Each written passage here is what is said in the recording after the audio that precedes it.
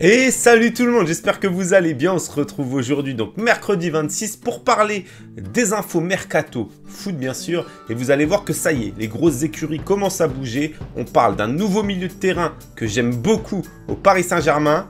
On parle également d'un échange de gardiens, notamment dans des gros clubs espagnols. Des départs au Paris Saint-Germain, peut-être un nouvel attaquant à Marseille. Allez, c'est parti les amis.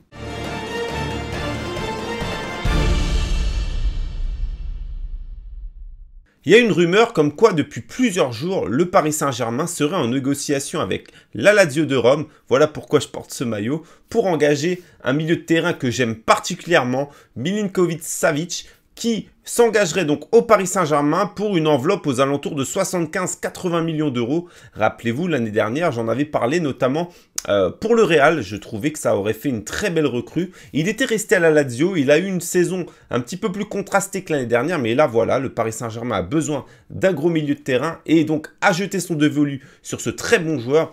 Et en plus, pour faire baisser le prix, ils ont l'idée d'inclure Paredes qui a vraiment été décevant, acheté 40 millions d'euros ce qui est très cher vu, vu son apport. Et donc, euh, ce serait un échange avec, euh, bien sûr, ajout d'argent. Donc, pour moi, c'est très bonne idée hein, de séparer de Paredes, qui est vraiment euh, bidon, et de récupérer à la place Milinkovic-Savic. Ça peut faire déjà une très belle recrue dans l'entrejeu pour le Paris Saint-Germain. Toujours au PSG, vous savez qu'ils vont devoir vendre des joueurs par rapport au fair play financier et ils sont en discussion avancée avec le club allemand Leipzig pour vendre Nkoukou, donc le jeune joueur de 21 ans, milieu de terrain très prometteur, va donc très certainement euh, s'engager là-bas. Il rejoindrait donc son ancien coéquipier Augustin, l'attaquant qui était parti là-bas, et on parle d'une enveloppe aux alentours de 18-20 millions d'euros. Ça paraît quand même assez élevé, mais pour moi, Nkoukou euh, est vraiment le futur du Paris Saint-Germain. Euh, je trouve ça dommage qu'il s'en sépare. Après, je comprends que par rapport au fair play financier, bah, ils le vendent, mais bon, J'aimerais bien quand même que dans ce club, il reste des vrais Parisiens après le départ euh, bah, de Mamadou Sakho, Matuidi, qui était quand même un, Parisien, voilà. Il va plus rester euh, grande dame parisienne dans cette équipe. Dites-moi ce que vous en pensez dans les commentaires, les amis. On descend maintenant dans le sud et là c'est la Provence qui a annoncé ça. Euh, les Marseillais, pour remplacer Mario Balotelli qui voudrait rejoindre l'Italie, ils songeraient au Tchèque euh, Chic qui joue à l'AS Roma. On l'avait vu notamment en Ligue des Champions très bon. C'est un jeune de 23 ans. Ça paraît compliqué parce qu'il euh, vaut, euh, il vaut cher. Il avait été recruté à la Sampdoria de en 2017 pour 38 millions d'euros. Je pense pas que l'AS Roma le vende à perte. Donc franchement, ça me paraît très compliqué pour, Marseille, à moins d'un prêt.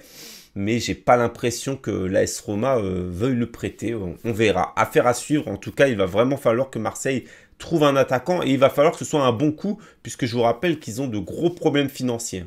Benjamin Lecomte, le très bon gardien de Montpellier, euh, se serait rapproché de Monaco. Monaco aurait même fait une proposition de 8 millions d'euros refusée par Nicolin. Il en voudrait plutôt 18-20, ce qui semble énorme.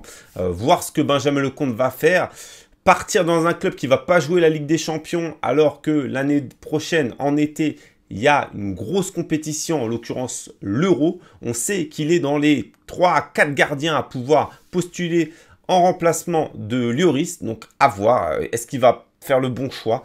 En tout cas, affaire à suivre les amis. Arsenal aurait fait une offre de 30 millions d'euros pour Saliba, le jeune défenseur de 18 ans de, Saint-Etienne, des Verts. Euh, je pense pas que Saint-Etienne puisse refuser une telle offre. Saliba, c'est un, bon espoir, un, joueur qui a fait vraiment une bonne impression euh, cette saison avec les Verts. Il a vraiment participé activement à cette magnifique saison des Verts. Euh, eux qui joueront, je vous rappelle, l'Europa League. Donc à voir. En tout cas, 30 millions d'euros, à mon avis, il va très certainement se diriger vers Arsenal. Attention parce que là-bas, la concurrence va être dure. En Angleterre maintenant, une grosse bataille, un derby mancunien s'annonce pour s'arracher les services de Maguire, l'international anglais de Leicester. On pensait qu'il allait partir vers City, mais en fait, Manchester les aurait doublés. Manchester United aurait doublé Manchester City. Euh, Manchester City estime le joueur aux alentours de 65 millions d'euros. Leicester en réclame 90. Et il semblerait aujourd'hui que United ait monté l'offre et passé, surpassé l'offre de City. Donc, c'est vraiment un feuilleton en Angleterre. Affaire à suivre. Moi, c'est un défenseur que j'aime beaucoup. Je trouve qu'il avait fait un magnifique mondial derrière avec l'Angleterre. Est-ce qu'il va aller à City? Est-ce qu'il va aller à Manchester? Dans tous les cas, les deux clubs ont vraiment besoin de se renforcer derrière, même si City a fini champion. Euh, pour moi, la porte, d'accord, mais Otamendi, c'est vraiment vieillissant. Compagnie est partie, donc euh, ils vont vraiment devoir recruter un très bon défenseur. Chose euh, assez cocasse en Espagne, puisque en fait, le Barça et Valence vont s'échanger des gardiens en effet, Jasper Silsen va quitter le Barça pour rejoindre Valence, là où il sera titulaire, et donc Neto, qui était donc le titulaire de Valence, va quitter Valence pour rejoindre le Barça, pour devenir bah, la doublure tout simplement euh, du titulaire indiscutable et un des meilleurs défenseurs du monde, en l'occurrence l'allemand Ter Stegen. Le feuilleton de Lirt n'est pas fini. Le défenseur international néerlandais, capitaine de l'Ajax, va donc quitter son club. Il a fait ses adieux et on ne sait toujours pas où il va partir. Depuis plusieurs jours, il se rapproche de plus en plus de la Juventus. Il aurait même déjà négocié son contrat. Seulement la Juventus veut faire céder l'Ajax et pour les aider, ils sont prêts à inclure Moiskin, l'international espoir italien de 19 ans, un très très gros espoir. Beaucoup le voient peut-être comme un des meilleurs attaquants dans le futur. Donc c'est risqué pour moi de se séparer de ce joueur qui incarne vraiment le futur de l'Italie. L'Ajax va à mon avis être très content de le récupérer. L'Ajax peut encore une fois faire très très mal l'année prochaine parce que pour l'instant ils font un recrutement très très très intelligent. Donc pour l'instant, De Ligt, Juventus c'est pratiquement sûr. Et Moiskin, pourquoi pas à l'Ajax en prêt ou en achat sec pour l'instant, on ne sait pas. Affaire à suivre les amis. J'espère que cette petite vidéo vous aura plu. Je vous fais des bisous. N'hésitez pas à mettre un like et à vous abonner si ce n'est pas déjà fait. C'était Luthor. Ciao les mecs.